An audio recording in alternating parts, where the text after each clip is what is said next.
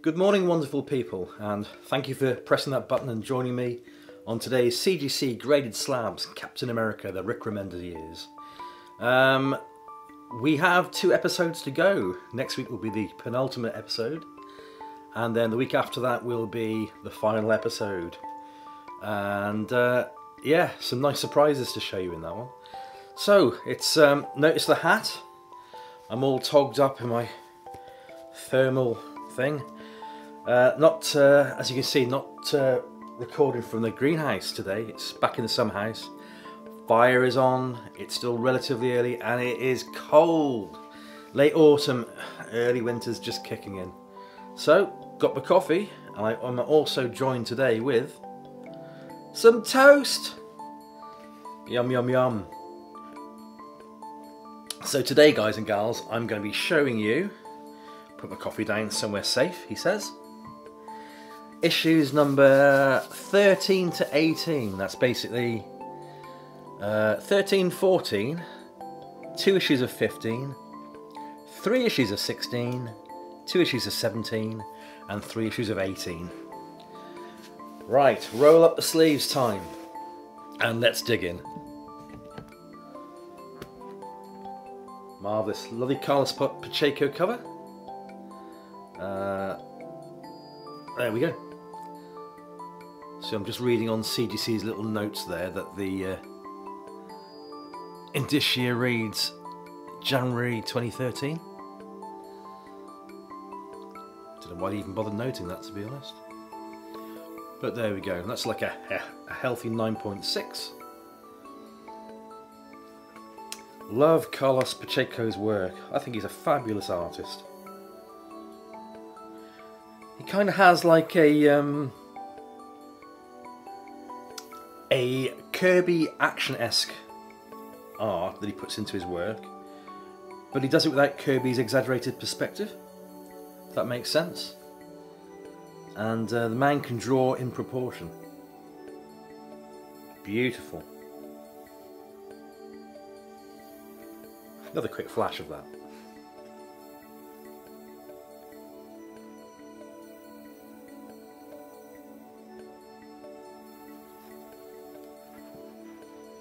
Oh, and how's the job going? Thanks for asking again. Uh, it's going quite well. Almost like a quietish week this week. But out of five working days, two working days, I took zero. But the three days in the working week where I did make some money was acceptable. So I'm not going to have to go back to eating just uh, cereal in the morning and that's it. So uh, yeah, uh, just over the third week, looking good. Always fingers crossed, guys and gals, as you never know what's around the corner. Issue number 14. Uh, again, this is a beautiful 9.8 with a Carlos Pacheco cover again.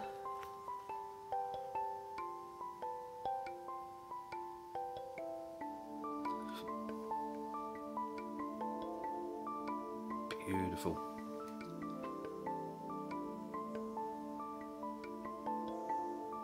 Very nice, very nice. And there's the falcon in the background. Always second. Always just that little bit too late.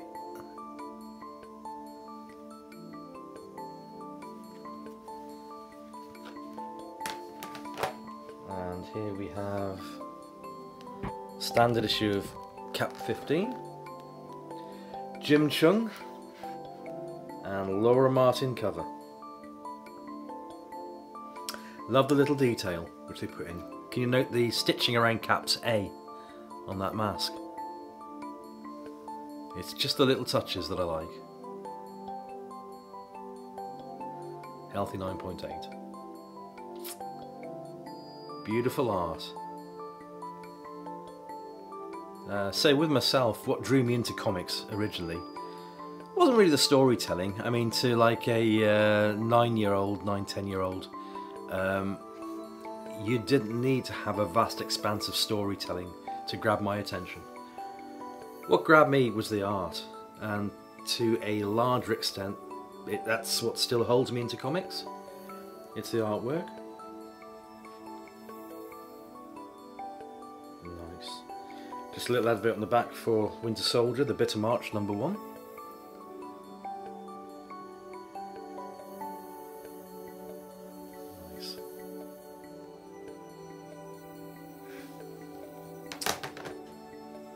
And here we have the variant issue, variant issue, variant edition of issue 15. A Francesca Mattina cover uh, at 9.8.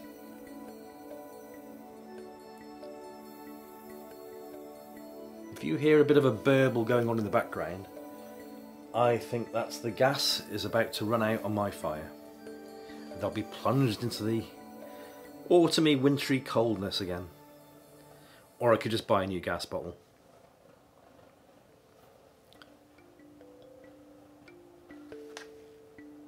Yeah, it's the standard variant edition.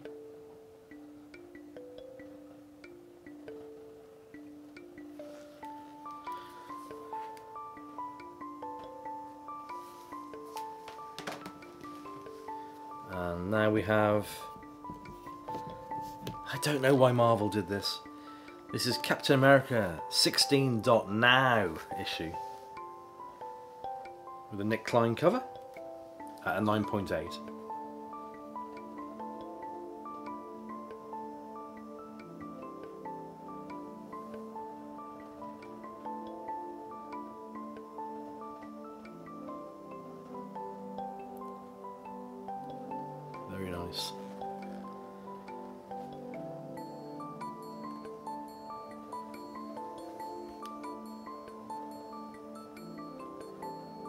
Inside it's Pascal Alix, Alixe and Edgar Delgado art. So it's just like a just like a quick fill-in issue, I think.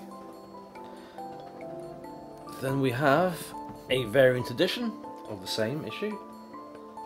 Uh, beautiful art by Lee Bermejo.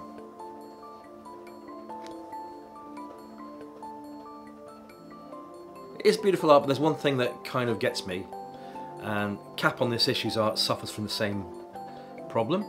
It looks like he's wearing a pair of jeans. And that's kind of like exactly the thing that uh, turned me off when, I don't know, I can't even remember how many years back now, uh, when Superman was back. They portrayed him as a working class man in a pair of jeans. He's a superhero, he's above us mere mortals.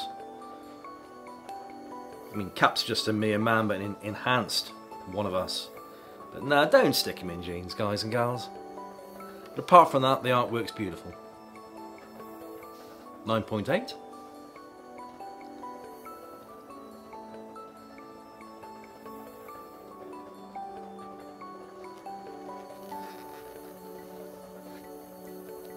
Lovely. And now we have the 16.9 Eliopoulos variant cover. Uh, yeah, you know, I remember kind of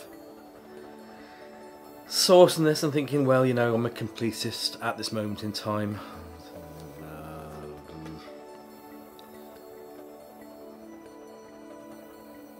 Still, 9.8.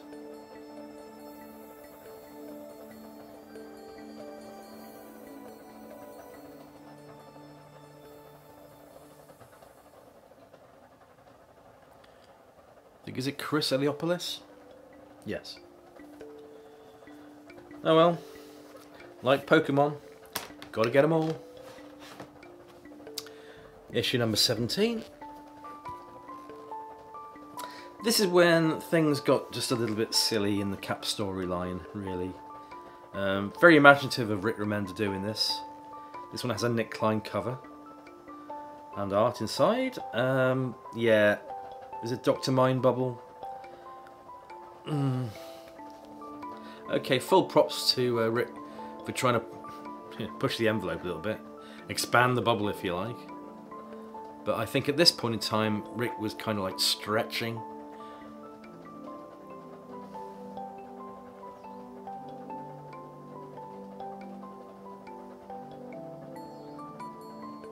Yeah, it's a, it's a kind of, you know, it's always good in a way to push the envelope, but in this particular case, why? I don't know. I'm, I'm, I'm split on this one, really. Um, I love Rick Remender's storytelling. I love the way he expands the Marvel universe, or any universe which he partakes in, to be honest. But uh, Doctor Mindbubble, what? There's you know, some guy with a glass pipe stuck in his head, blowing bubbles. Next, this is a variant edition of number 17. This is more like it. This is a, a Rags Morales and Edgar Delgado cover. Look at that. Isn't that beautiful? It's a 9.8. Lovely.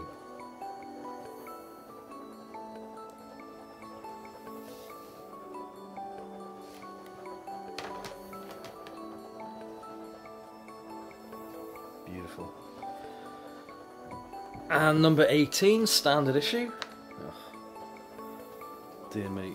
Nic Klein cover art, 9.8. Yeah, can you dig it, baby? Oh, I don't think I can, really.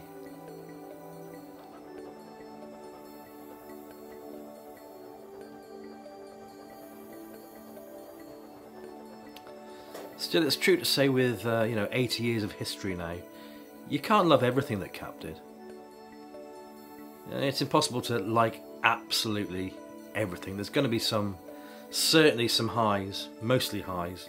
But you're going to get some lows as well. And mm, can you dig it, baby? Afraid not.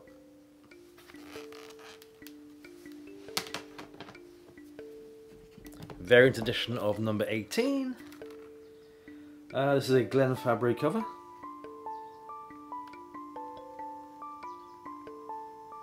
Not quite my art choice. But hey, it's Glenn Fabry. And that's at a, a 9. So it's still quite high up there. But there must be some issue somewhere that I, that I missed, some sort of crease or something. Get the glare off the slab. And I've just noticed that I, uh, I'm not allowing myself enough time to have a slip of my coffee.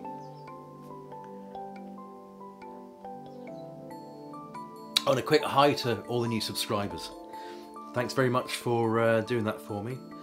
Um, a lot have been sent by one of the most awesome people on this, this beautiful planet, Metarog. So Cheers, Metarog. Thank you so much. Racing ahead to the uh, to finish that 300 subscriber drive. So I think I just hit 220 last night. Uh, only another 80 to go, then I shall find something extremely special. Um, and I will do that randomizer. And uh, someone's going to have something beautiful. It's not going to cost them anything just as a thank you for, for subscribing. To this English man and his Captain America obsession, and his Alan Class obsession, but that's for other videos.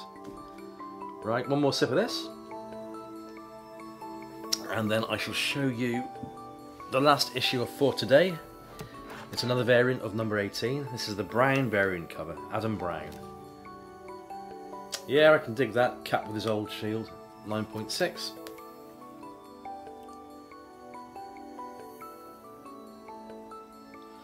Oh, there we go.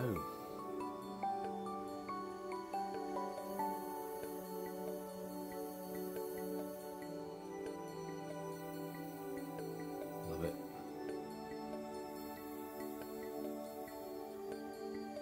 There we are, lovely guys and gals. I now will bid you a fond farewell until next week.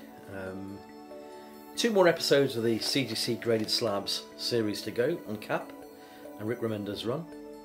Um, and if I remember, I shall be showing you something a little bit special on that very last episode to tie it all in. Um, what else have I got to tell you? Um, I'm not even going to touch on this particular week's politics, so I won't. Um, right, okay, enough of that. See you next week. Thanks for watching. Um, have a very safe week ahead of you, and I hope you've had a great week previous to the last episode. Um, be safe, be well, love your loved ones, hug them tight, and um, be well. Be well. See you next week, guys and gals. Bye for now.